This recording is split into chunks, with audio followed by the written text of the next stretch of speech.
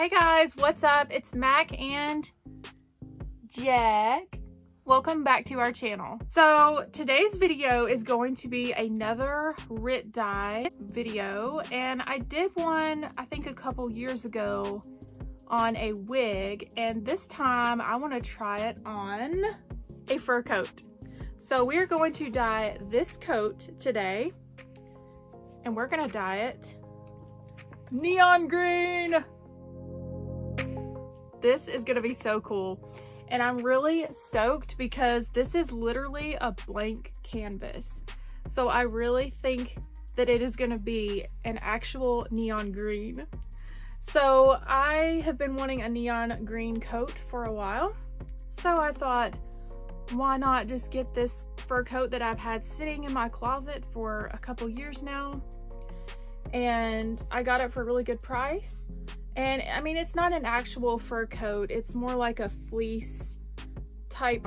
It's so warm and so comfy. So I'm curious how this is gonna turn out. So it's kind of an experiment for me as well. So we'll see if this works. I hope it does. Um, I got two bottles of it because it is recommended if you have something like a coat that you're dying to get two bottles. So I hope this is enough. So I'm just gonna take you guys with me. We're gonna try this out. I'm gonna tell you all the things that I'm gonna do.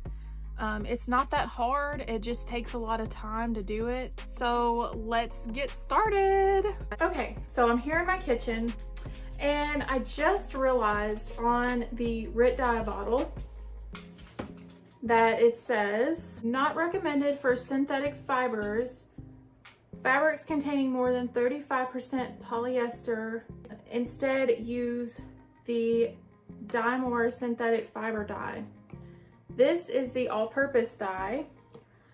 Um, I forgot that they had different kinds, to be honest. I was kind of in a hurry when I picked this up. So, um, I hope this works. this will really be an experiment to see if it works. Um, I'm a little nervous because this is 100% polyester, of course. I don't know. I'm gonna try it though. I, you know, I've already bought this. I'm gonna try it. I'm not gonna be out a lot of money if I do it. So let's give it a shot. Maybe they, I don't know why it's like that. I, I mean, it's dye, it should work, right? So for this video, I got a big tub to put the coat in and it should fit perfectly. I also forgot to get like a wooden spoon to stir it around with. So um, I don't know what I'm gonna use for that yet, but I think it has to be stirred like every 30 minutes. And of course you'll need gloves. That's very important. And I have a nice little bag right here to protect my countertops. So you can use bag, trash bag, uh, shower curtain, tablecloth. Uh, just make sure you protect your countertops just in case anything happens. Then you will need really hot water. It doesn't have to be boiling water, it just has to be simmering. And I'm probably gonna need like two pots of water. So that's what we're gonna do right now.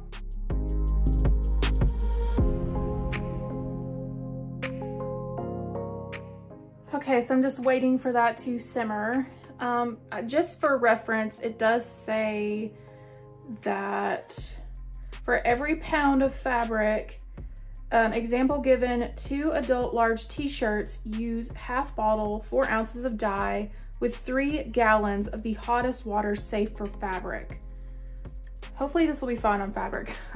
I've got two large pots on the stove right now, so I think that's gonna be enough. I just really need it to fill this tub up right here.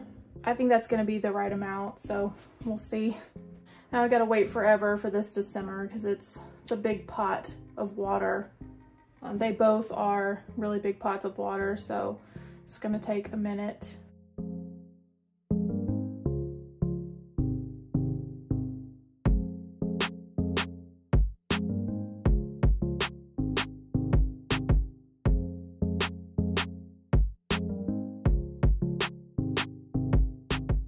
Okay, so I ended up using like three pots of boiling water, which is insane. So I had to keep this covered while I was boiling the other two because the other one wasn't boiling when the other one was.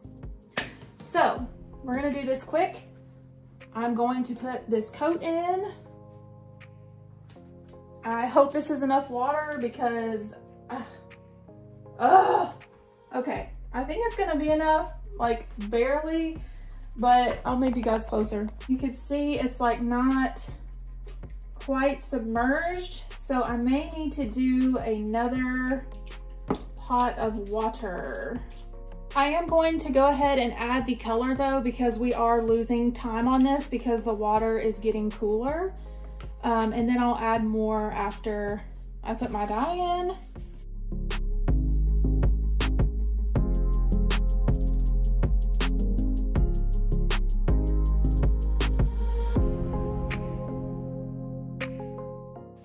Okay, so this is what it looks like right now. And I'm hoping that I covered everything because it's a lot like hair dye and you know if you miss a spot, you know, it just messes up the whole dye job. So I'm just gonna keep stirring it and I've kind of just been moving it around. Even though it's very hot, I probably shouldn't be touching it. I do think the water is hot enough. Um, and there actually might be enough water, which is great.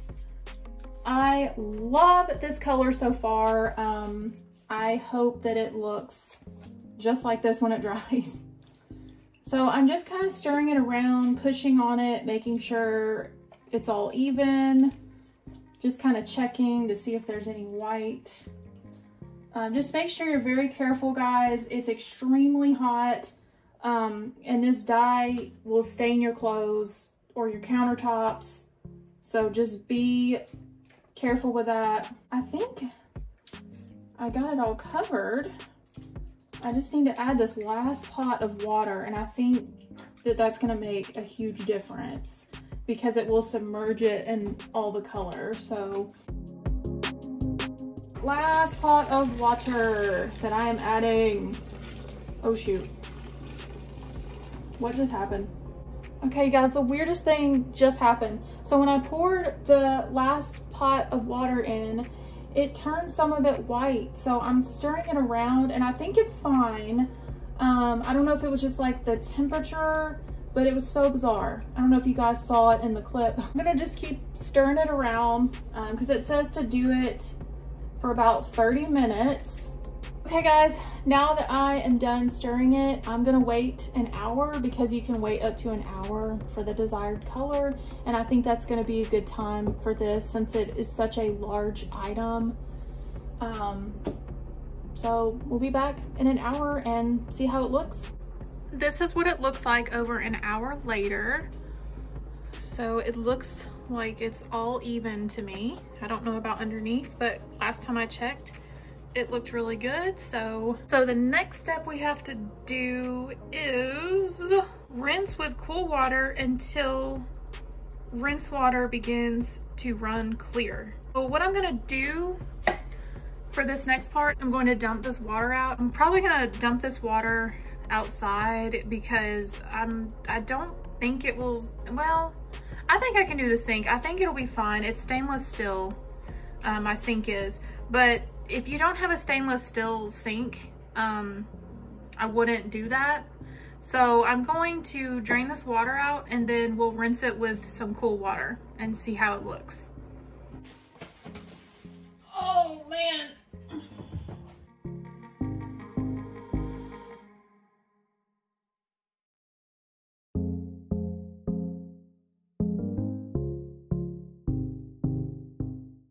Okay, you guys, so I'm kind of at a loss because I've been squeezing this forever.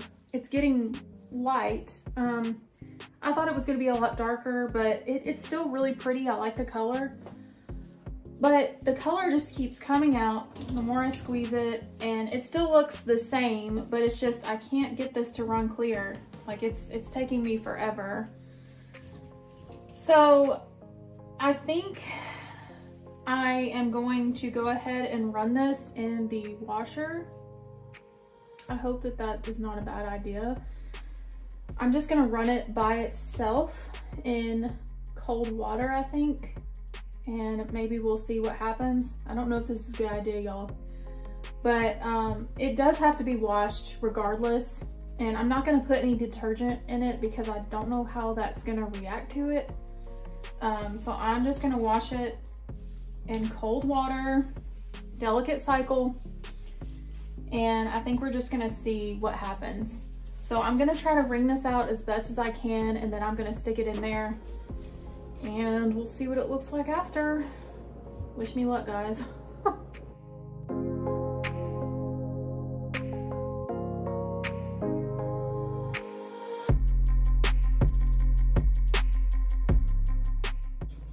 Okay guys, I wanna stop this video for a second. Um, I think I'm actually going to add some detergent because I think it'll be fine. I'm gonna add just a little bit because I'm gonna have to clean it anyways and I really don't wanna wash it like twice in a delicate cycle. So I'm gonna go ahead and just add a little bit of detergent and we'll see if that makes a difference or not. Okay, it's done. I'm really scared to see how it looks. I hope that it is still green, a beautiful neon green. So let's look.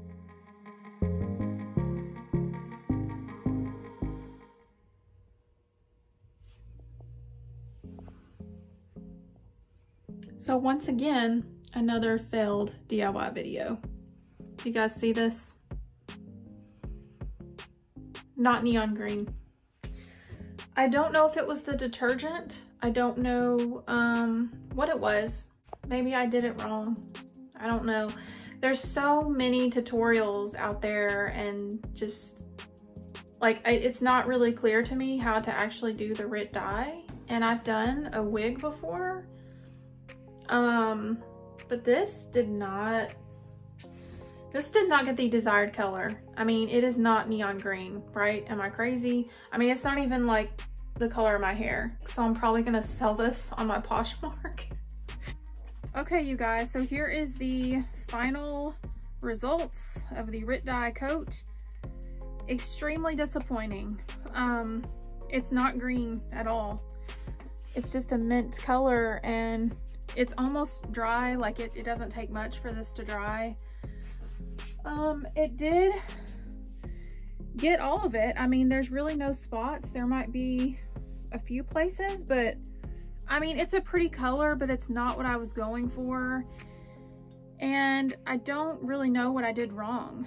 I mean, I followed instructions that I found on Pinterest and online. Like I've Googled so many things and the RIT Dye website, you know, there's so many different things on there and it's really hard to determine like what is best for this fabric. I probably should have gotten the fabric dye. That's probably what it was if I had to guess. It just did not get the desired color. And this happened to me too with the wig, so I don't know y'all. I'm just, I'm so disappointed. Like, if you're watching this and you expected a different result, I am so sorry. I mean, the dye stayed. It's just, it's not the right color. And I don't know, like, I thought that two bottles would be enough. Like it should have been plenty. Don't like it at all. I don't need a mint green coat. I need a lime green coat.